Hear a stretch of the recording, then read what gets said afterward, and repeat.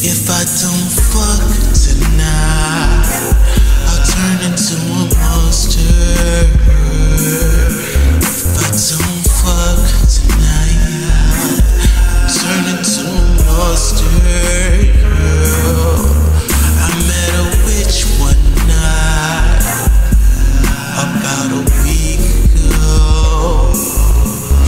And she told me, baby, that I had seven to fuck some hoes.